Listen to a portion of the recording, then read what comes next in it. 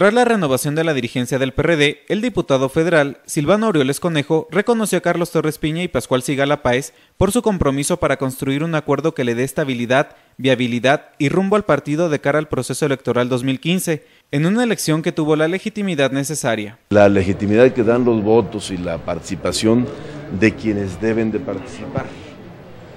Aureoles Conejo aseguró que fue un acuerdo al que todos fueron convocados, ya que se trató de un proceso de constitución de un amplio acuerdo que permite consolidar no solamente al Sol Azteca, sino todo un proyecto político. Al contrario, en este partido todas las compañeras y compañeros son importantes, tienen un lugar importante, suman, le dan fortaleza al partido, nadie representa un problema. Reitero, ningún actor político le resta al Partido de la Revolución Democrática, ya que todos son necesarios. Nadie resta aquí.